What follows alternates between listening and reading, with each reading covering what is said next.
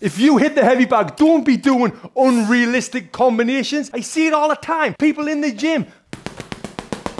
No, mate, focus on realistic combinations, and that's really going to help improve you at boxing.